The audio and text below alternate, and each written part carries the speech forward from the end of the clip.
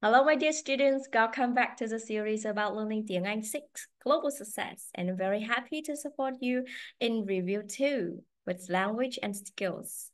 Xin chào các con, chào mừng các bạn đến với chuỗi video cô thì hướng dẫn các con học chương trình sách giáo khoa tiếng Anh lớp 6 uh, ờ, Global Success của Nhật xuất bản giáo dục và chúng ta đang ở bài Review Second.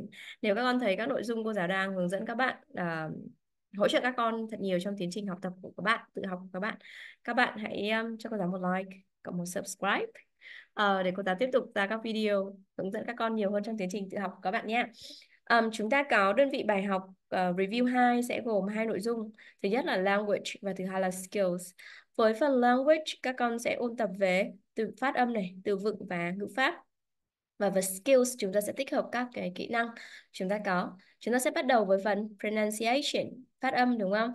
Thì chúng ta sẽ có và các con sẽ nghe các từ đúng không và các con nghe cái từ đấy thì có phát âm khác so với các từ còn lại thì chúng ta sẽ lựa chọn bây giờ chúng ta sẽ cùng nghe One.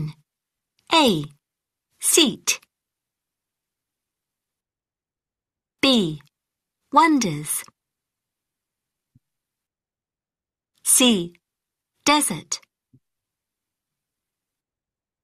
2. A. Cheap.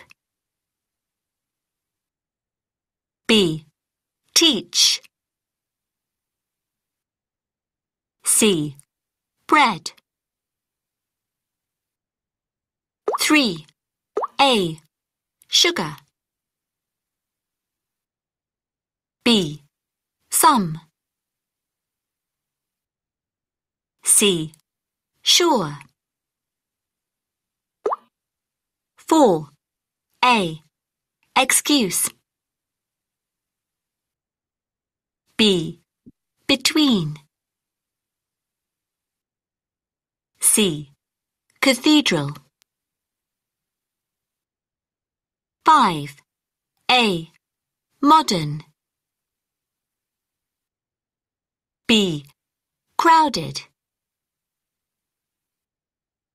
C. Celebrate.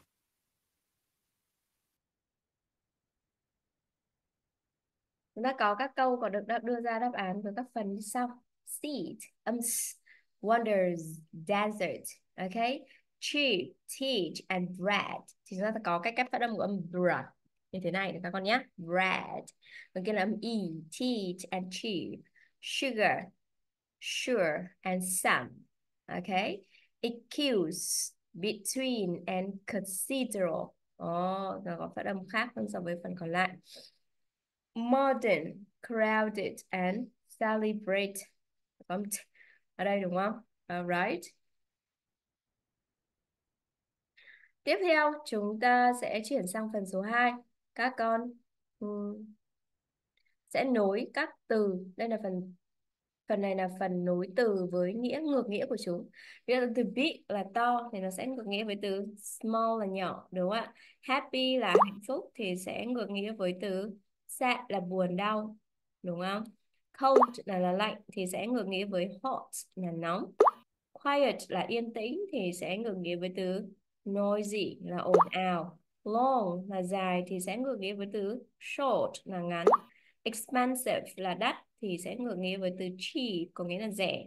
High là cao thì sẽ ngược nghĩa với từ là thấp đúng không? Low.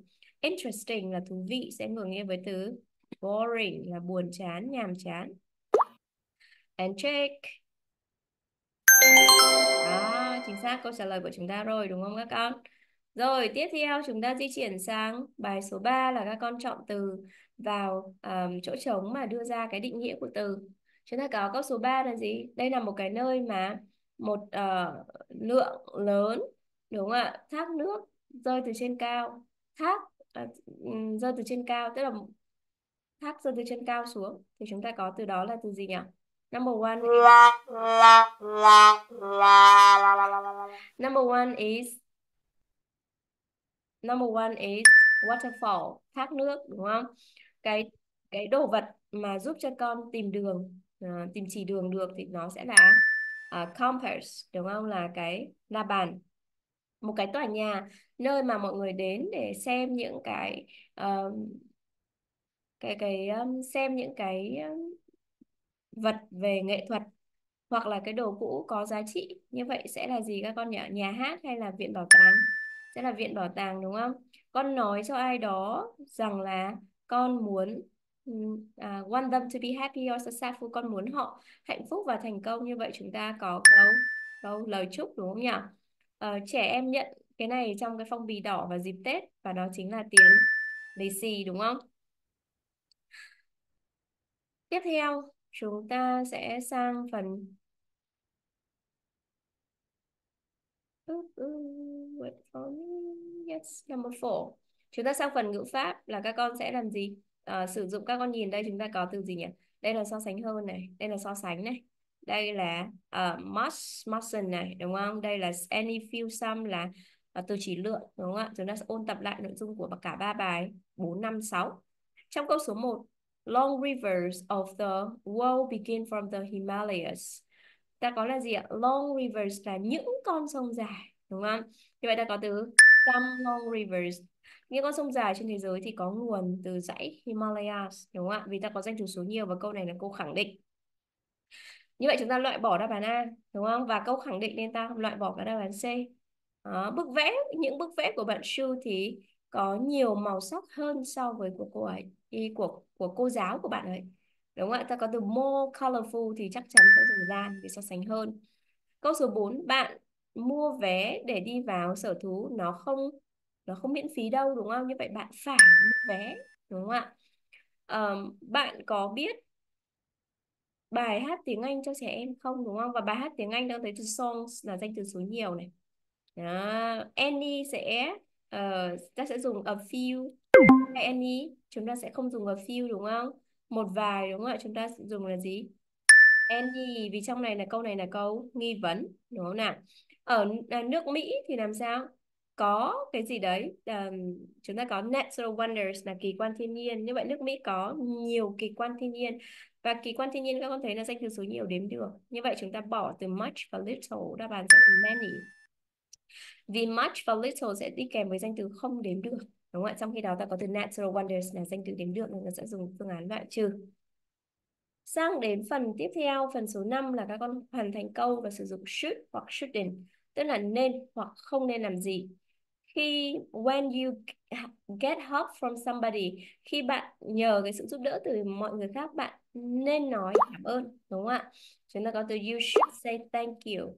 Bạn hỏi mọi người tiền mạnh tiền mừng tuổi nó uh, không phải là một thái độ tốt như vậy chúng ta không nên đúng không ạ? Khuyên là không nên làm gì. À, chúng ta có từ shouldn't bạn make noise là gây ra tiếng ồn khi mà ăn. Thì như vậy chúng ta cũng không nên đúng không chúng ta in ăn trong tĩnh lặng bên trong bình tĩnh đúng không nhỉ?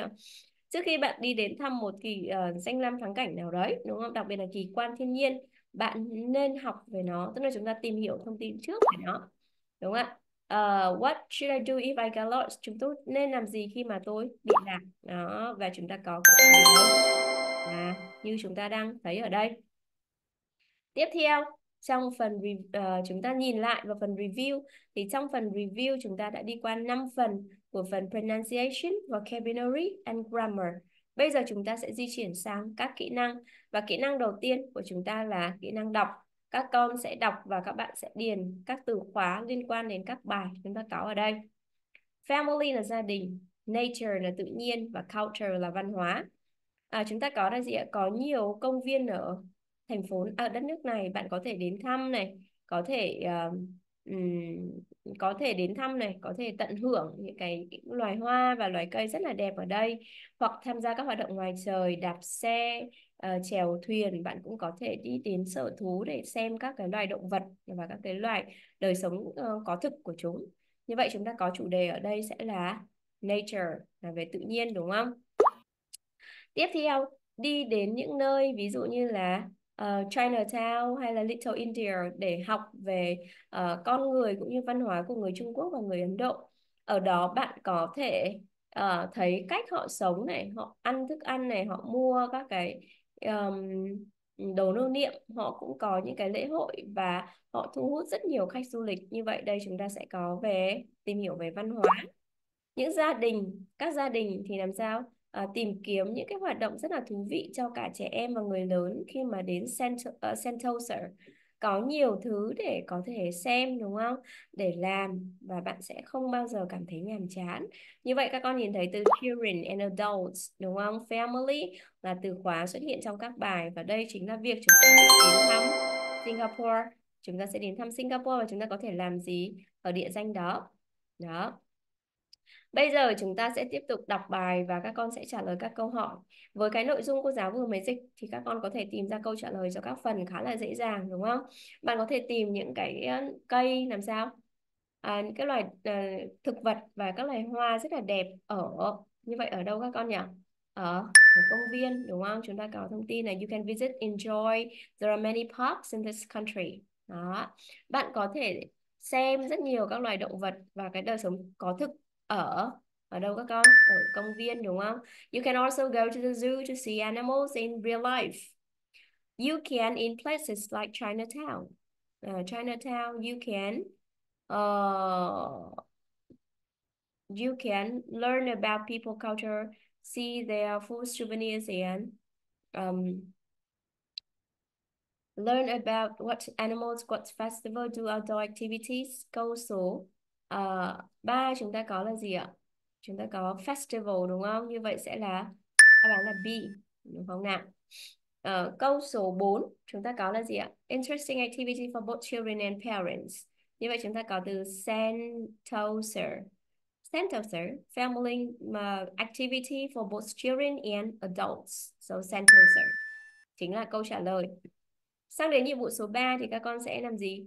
À, con sẽ làm việc theo cặp. Con đọc lại cái bài thăm Singapore này và các con sẽ liệt kê ra uh, danh sách các nơi mà con có thể đến đúng không? Chúng ta có danh sách các nơi có thể đến đó là gì? Công viên này sở thú này Chinatown Little India đúng không? Sand Salter. Để chúng ta có thể giới thiệu với cả các bạn là các con làm gì làm gì con có thể làm gì khi đến con đến đó. Con muốn đến đâu và tại sao con muốn đó đến đó để làm gì đúng không ạ?